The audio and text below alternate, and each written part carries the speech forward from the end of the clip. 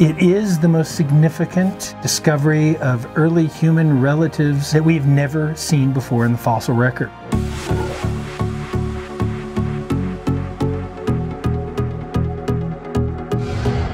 So my friend Dan from the YouTube channel Vegan for the Win just informed me of this very, very important discovery.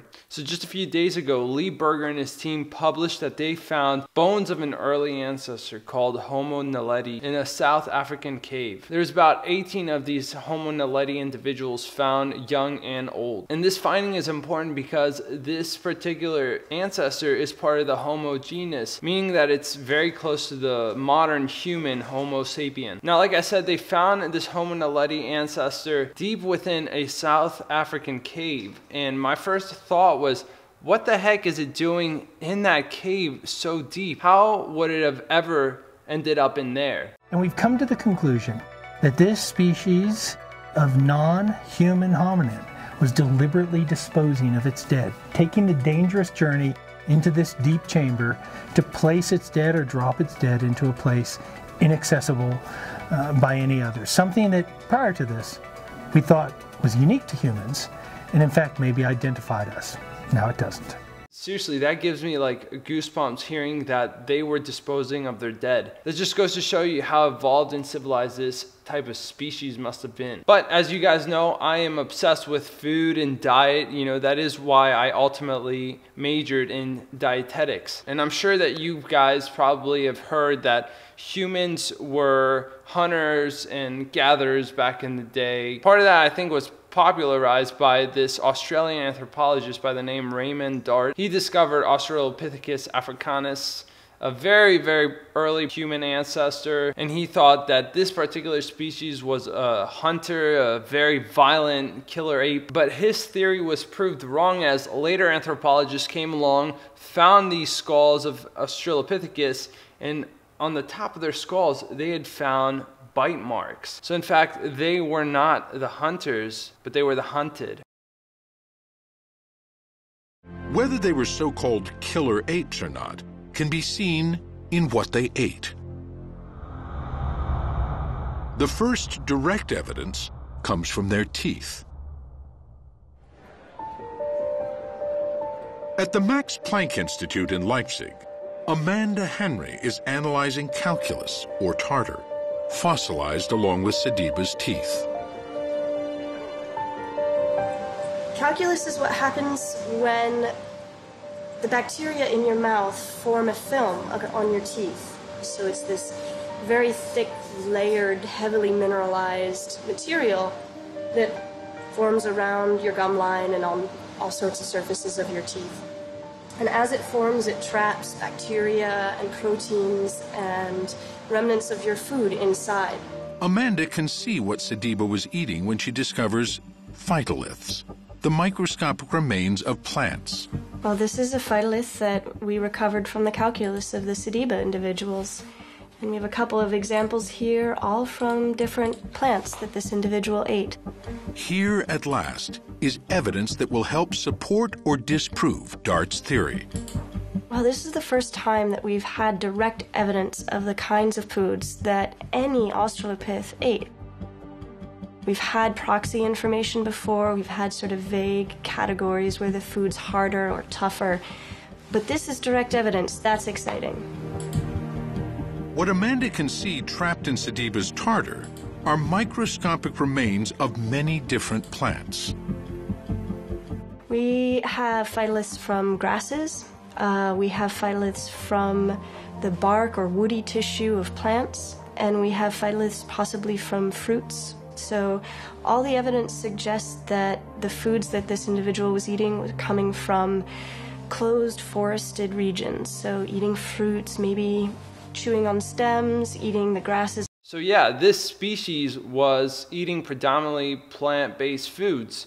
Very little meat, if that. Before the discovery of fire, there's no way that these prototype humans could have been eating meat. I actually had the privilege of speaking with evolutionary psychologist and co-author of The Pleasure Trap, Dr. Doug Lisle, and he explained the diet of this Australopithecus species very well. This actually is, is how, in fact, human nature was born was born behind the advent of fire. Fire is the is the singular tool that actually changes the course of human evolution and causes us to be human.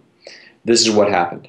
That that starting about two million years ago, uh, at that time, human human uh, human uh, proto humans, uh, Australopithecus, was was not a pair bond species. In other words, there was no long term relationships between in the mating uh, between male and female. There were no so there were no families. Uh, what there were was a standard operating procedure, which is true for 97% of mammals, which is that the, the males do no did no paternal investment in the offspring whatsoever. So the females would be in charge of their of their children and they would feed them and raise those children. It would take them many years to do so. Now, when you have children, you can imagine that you cannot possibly hunt. There's just no way that organism can hunt. And so that species was designed as a raw food vegan species. The females would have been, for the first time, able to start to, uh, uh, to use uh, root vegetables. Now, root vegetables are much higher in calories than, than eating fruit, fruit off the vine. Fruit off the vine might be two or three hundred calories. The root vegetables are 500 calories. So it's doubling the calorie density. Now the uh, the problem is is that you can't eat it raw. If we cook that potato, suddenly it's a whole different story. So you've effectively increased the calorie density of that food considerably. Okay, the uh, not only that, you've actually lowered the amount of digestion time. So the food doesn't have to remain in the stomach as long it's passing into the small intestine much, much faster, which means you don't have to have as large a stomach. Okay? So now what you're going to see is you're going to see that the jaws should get less tough, okay? And you should also get a smaller stomach. And you should get teeth that are not as strong. All three of those things have happened in our species. So fire started it all for us guys. It was almost a single factor that triggered our evolution. But even back then, we weren't huge meat eaters as it wasn't a consistent calorie source. Most of our calories came from what we could scavenge and gather throughout the day, that being carbohydrates, things like starches and fruits. I've also had the privilege of speaking with physician and author of The Starch Solution, Dr. John McDougall, and he even said that the Neanderthals, which arguably are closest to the modern human, that they were even a predominantly plant based eating species. We can go back to uh, 44,000 years ago and look at the Neanderthals. Yep. The Neanderthals, uh, their skeletons have been examined uh, all throughout Europe, and what you find is starch granules in between their teeth. These were starch, even Neanderthals, which are supposed to be the meanest, baddest hunter of the hunter gatherers ever were. They were starch eaters you can look at uh, paleo people from three different areas of Western Europe. And what you'll find, this was from 30,000 years ago, you'll find starch was a the primary source of calories.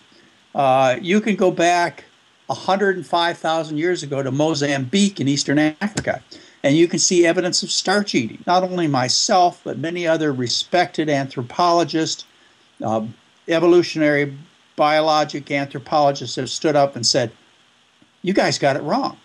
You're absolutely wrong. And the research is absolutely clear that they're wrong. So there you guys have it. Just more evidence supporting that early man, our ancestors, were predominantly gatherers and foragers and less of a hunter that is emphasized in modern society. So definitely an important discovery for science and mankind itself. Post your thoughts down below. Let me know what are you guys' reactions after watching this? Do you guys think that humans were designed to eat plants from the start? And do you think moving away from that predominantly plant-based diet is the reason why we are facing so many chronic diseases in the modern world? Post your thoughts down below. Press the like button if you like this video and subscribe for more videos on plant-based eating. And I'm everywhere. You guys can find me on Facebook Twitter Instagram YouTube Google Plus wherever. Thank you guys so much for watching this video and we will see you guys in the next one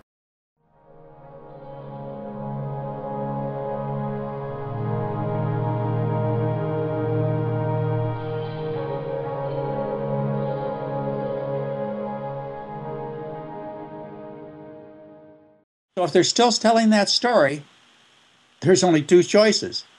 Uh, you know, their their eyes and ears are closed, their brain is numb, maybe from eating all that meat, or they're lying. You know, there's nothing in between.